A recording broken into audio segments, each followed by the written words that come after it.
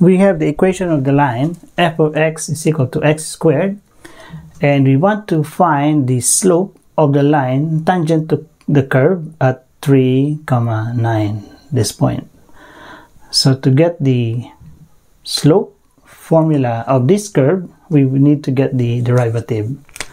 Using the power rule the the derivative of x squared is equal to 2x. So this is your general formula for the slope of the curve.